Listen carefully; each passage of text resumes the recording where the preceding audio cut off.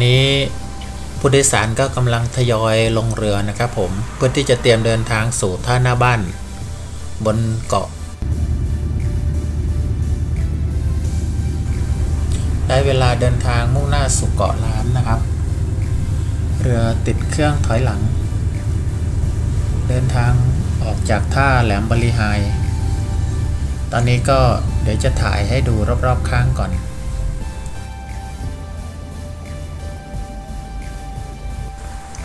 ตอนนี้ก็ได้เวลา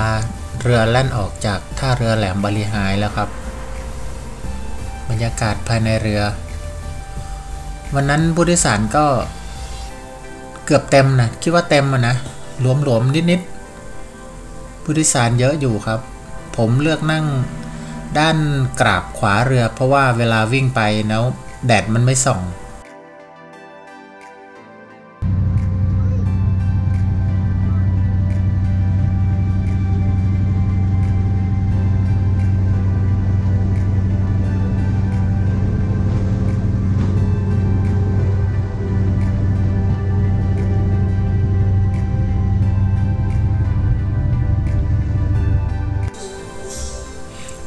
ารมณ์ดี ก่อนขึ้นเรือนี้บอกว่ากลัวนะ เพราะว่าว่ายน้ำไม่เป็นว่ายน้ำไม่เป็น วันนี้ก็เซอร์ไพรส์หน่อย จริง ๆ จองที่พักไว้แล้ว แต่ว่าไม่ได้แจ้งเขาไว้ ไม่ได้บอกว่าจะมานั่งเรือด้วย แค่ว่าจะพามาเล่นน้ำทะเลที่พัทยาแค่นั้นเองครับ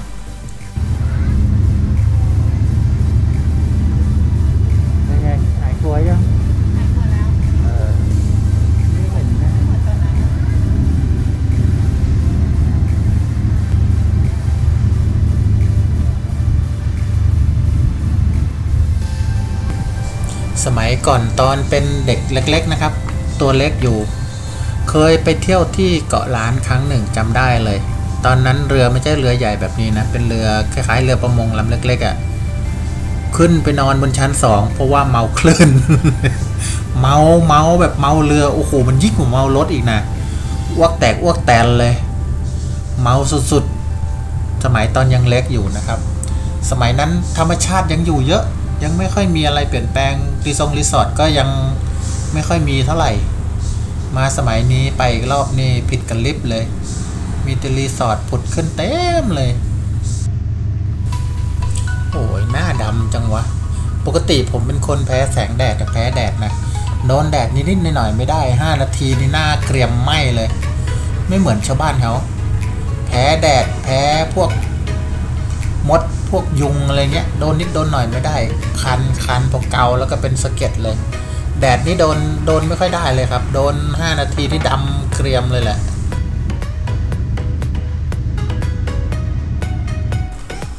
สำหรับบรรยากาศที่เห็นตอนนี้ก็ใกล้จะถึงเกาะล้านแล้วครับผมสองฝั่งมองออกไปด้านซ้ายก็จะเป็นเเรือนแถวของประชาชน ส่วนด้านขวาก็จะมีเกาะเล็กๆ อยู่สองสามเกาะครับ ใกล้ๆ เกาะล้าน ส่วนด้านหลังเราก็มองไปทางฝั่งพัทยา ก็ยังเห็นอยู่นะ ยังเห็นตึกยังเห็นอะไรอยู่นะ แต่ตอนนี้ก็ใกล้ๆขึ้นขึ้นเกาะแล้ว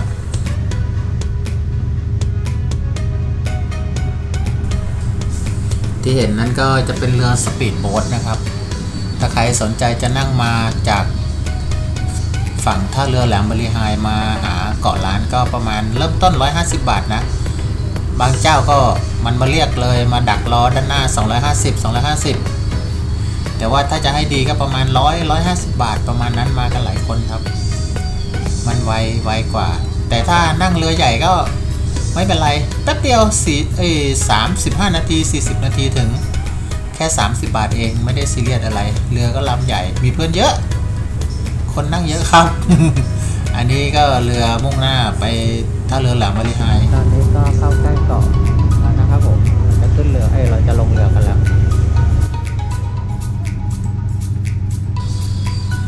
เท่าที่สังเกตดู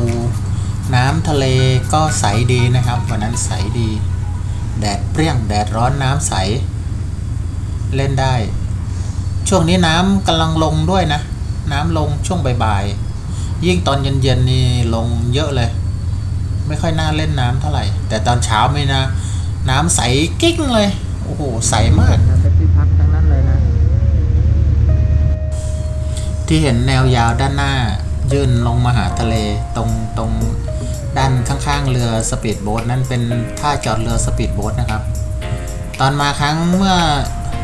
3 ปีที่แล้วยังไม่ทำเลย มาตอนนี้เห็น ก็ทำดีนะครับ ตอนนี้ก็ได้เวลาเรือเทียบท่าและจอด เราก็เดินลงจากเรือ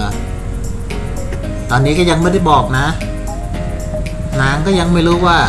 มีที่พัก นึกว่ามาไปเช้าเย็นกลับอะไรประมาณนั้น แต่เปล่าเลยผมแอบจองที่พักไว้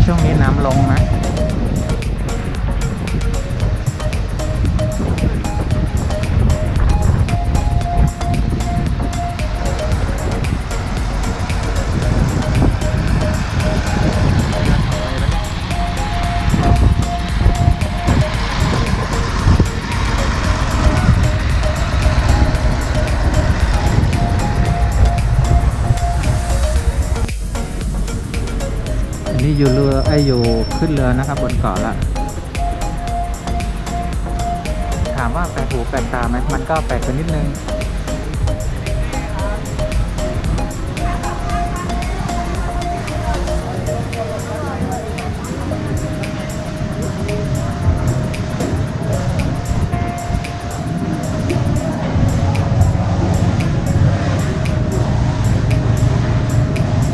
สแลงสีขาวหลังคาสีน้ำเงิน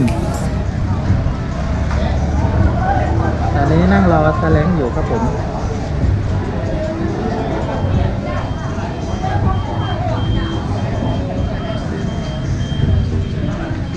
บนเกาะมีรถใหญ่ด้วยนะ มีเซเว่นเซเว่นเดียวบนเกาะนี้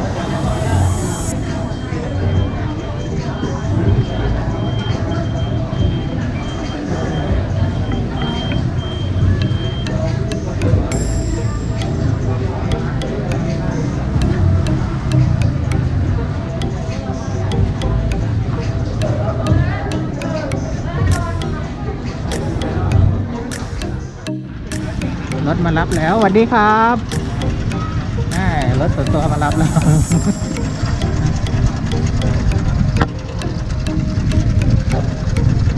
โอเคครับผม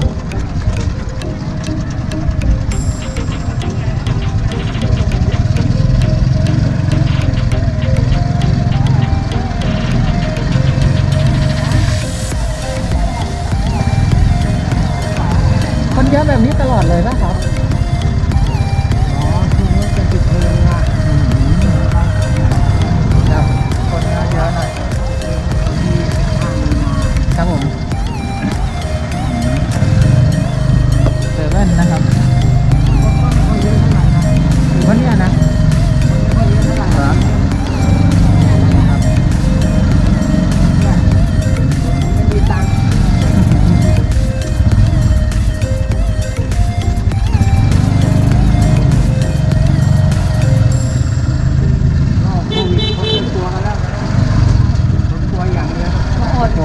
อ้ย่างโลกนี้น่ากลัวไอ้โลกรัสเซียปลูกยูเครนเนี่ยนั่นแหละนะยังไงเราก็ต้องอยู่กับมันนะอย่างว่านะไอไอโควิดโควิดเนี่ย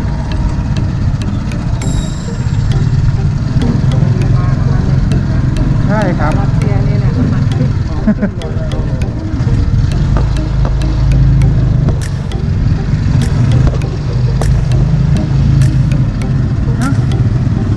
ยังยัง ยั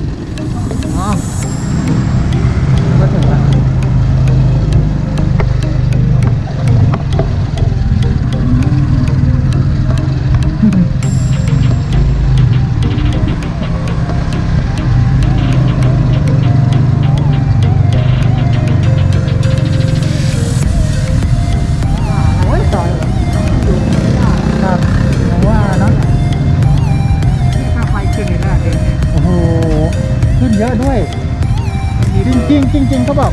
อะไรนะพฤษภาเดือนเดือนพฤษภานั่นมันยังจริงๆมันยังไม่ถึงนะ ขึ้นก่อนเลยว่าเนี่ยโอ้ยมีทาง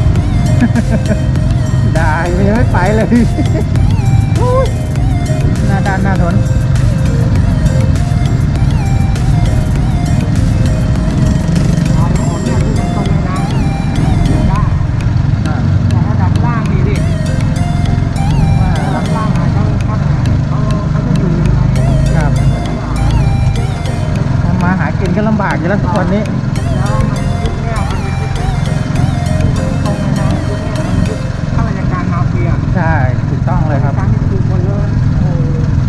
ทุกที่แหละเออทุกที่จริงๆ ไม่ว่าไอองค์กรไหนอะเออแต่ถ้าเข้าไปคุมหมดที่เป็นสิ่งที่เป็นเนี่ยมันไม่ใช่แบบนี้นะครับ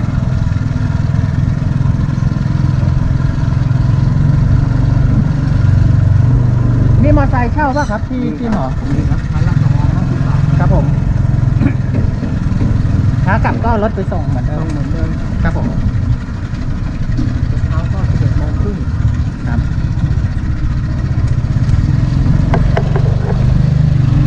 ถึงแล้ว ที่พัก โอเค ขอบคุณมากครับชื่ออะไรครับ ประกอบครับผม ไม่ที่ที่จอง อ๋อ หมายเลขจองใช่ปะชื่อเขาจะมีมันเป็นภาษาอังกฤษ ชื่อประกอบครับประกอบกรอบเลย ใช่ครับ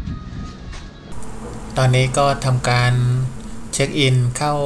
ห้องพักก่อนนะครับผม ชื่อที่จองไว้ก็เป็นชื่อผมเอง ห้องสุดท้ายด้วย นะเจ้าของรีสอร์ทแกเป็นคนใจดีนะครับผมแกพูดดีดีตอนนี้แดดกำลังร้อนเราก็กำลังเดินตาม เอากระเป๋าไปเก็บที่ห้องพัก ตอนจองใน Travel Loca ผมเหลือหลังนี้หลังเดียวด้วยครับ ผมก็พยายามจองรีสอร์ทใกล้ๆทะเลนะ แต่ว่าช่วงที่จองไม่มีที่ไหนที่ว่างเลย ส่วนมากจะเต็มกันหมดเลยนะ วันวันที่ผมจองนะครับ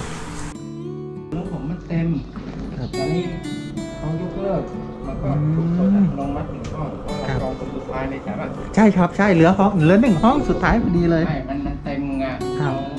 เขายกเลิกเขาติดก็มันยี่ห้อเดียวกันไม่ถูกใจบางคันนะบางทีไข่เนี่ยได้ใส่กันได้อ๋อเพราะว่ามันร้อยมือพันมือเนาะ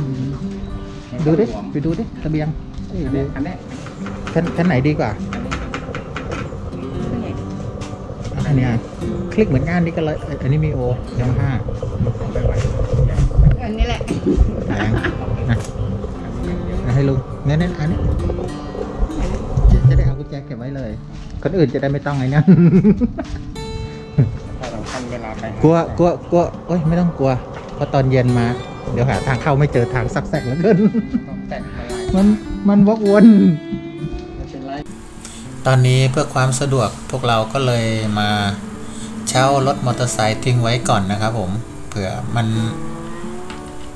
ฉุกเฉินยังไงเราก็จะได้มีรถขับไปได้เลยเนี่ยกะว่าจะอาบน้ำก่อนแล้วค่อยเอารถออกเผื่อมีคนมาจองก่อนแล้วเราจะฟาวเพราะว่าจองจากที่นี่ก็คือเราก็เอารถมาจอดไว้ที่นี่เลยมันสะดวกมันง่าย ต่อการออกไปเที่ยวครับกำคัดดิกำคัดได้หน่อยนั่นแหละ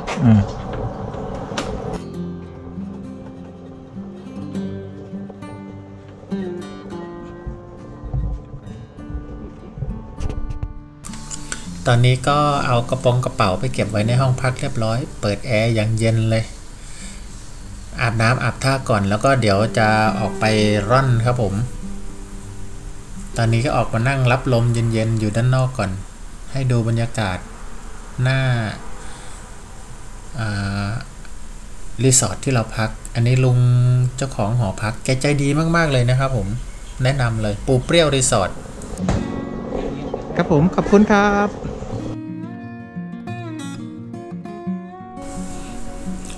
นนี้เราก็ทำการจองมอเตอร์ไซค์เป็นมอเตอร์ไซค์คลิกนะครับผม จองมอเตอร์ไซค์ไว้คันหนึ่งไว้ไปร่อนตอนช่วงหัวค่ำเพราะว่าไปหลายที่ ก่อนจะไปก็ดูน้ำมัน จริง ๆ เปิดเบาะไม่เป็น ไม่รู้ก็เปิดเบาะยังไง เคยใช้คลิกเป็นรุ่นเก่า มันดึงเปิดธรรมดา แต่ตัวนี้มันต้องเปิดแก๊กที่สอง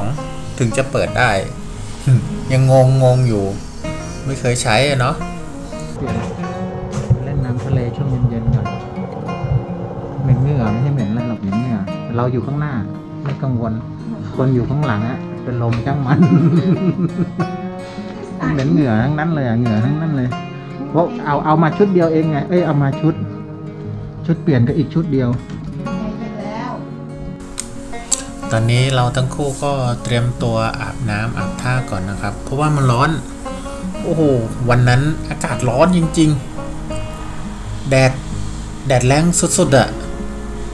มาทั้งเหงื่อ แล้วก็สะพายกล้อง ดูกระเป๋ากล้อง เอาเลนมา4ี่ห้าตัวไม่รู้เอามาทำบ้าอะไรโคตรจะหนักเลย วันนั้นเอาจริงนะ ผมใช้ใช้จริงแค่ตัวเดียวเองนะใช้ตัวเดียวจริง ๆ ครับ แต่ด้วยความที่ว่า เออไหนๆก็มาทะเล กะอยากจะถ่ายรูปให้เขาสวยๆอย่างเงี้ยหลายๆเลนหน่อยหลายๆมุมที่ไหนได้ ไม่ได้ใช้จริงๆนี่เดี๋ยวจะพาไปดูห้องน้ำนะครับ ตรงนี้ไม่มีประตู ไม่มีประตูห้องน้ำมี แต่ว่าห้องน้ำก็โอเคใช้ได้อยู่ มันเป็นผ้าม่านกั้นเฉยๆแอร์ก็มาถึงนี่นะ เพราะว่ามันไม่มีประตูกั้นระหว่างห้องนอนกับห้องน้ำ แต่ก็ไม่เป็นไรกลางคืนแอร์เย็นเฉียบเลย เปิดมันยี่สามเราเสียตังค์แล้วมีน้ำอุ่นด้วยนะ โอ้ยผมเปิดทีแรกนะ เปิดน้ำทีแรกนี่ร้องจากเลย ลืมดูพวกเขาเปิดน้ำอุ่นไว้ เปิดน้ำร้อนไว้ ไม่รู้ใครมาอาบน้ำร้อน โอ้โห อากาศก็อย่างนั้น เหนียวตัวจะตายยังมาอาบน้ำร้อนอีก มีใช้ได้ครับห้องน้ำใช้ได้ เราอาศัยแค่นอนคืนเดียว ไม่ได้ซีเรียสอะไรกับเรื่องการนอน ผมนอนเต็นท์ลำบากกว่านี้สบายสบายครับ แต่น้ำไหลแรง รู้สึกว่ามันจะเป็นน้ำกร่อยนะ เวลาเราถูสบู่อาบน้ำแล้วสบู่ออกไวมากเลย มันจะเนืดเหนียวเหนียวไม่ใช่เหนียวตัวนะมัน มันบอกไม่ถูกอะ่ะ คือถ้าใครเคยอาบน้ำกร่อยแล้วมาฟอกสบู่จะรู้เลย สบู่มันจะไม่ค่อยมีฟอง นั่นแหละ ส่วนห้องนอนเราก็ตามนี้เลยครับ ตามที่เห็น เตียงเดี่ยว นางเอาเสื้อในมาวางเรียงให้ช่วยเลือก ปัดโททำอย่างกับเราเป็นคนใส่ เอามาเองก็เลือกเอง โอ้ยดูเอามาให้ช่วยเลือก ใส่ตัวไหนมันก็ไม่ต่างกัน ไม่มีน้องไม่จับเลย ไม่มีไม่มีเขาให้ยึดเลย โอ้โหตรงด้านหน้านี่เป็นหาดทองหลางนะครับผม พอดีขี้เกียจเดินลงรู้สึกว่าจะเดินลงไปไกลนะอ่าก็เลยเอาแค่มาเห็นแค่นี้ก็พออืมฮะนั่นแหละเอาแค่รู้ว่าตรงนี้หาดทองหลัง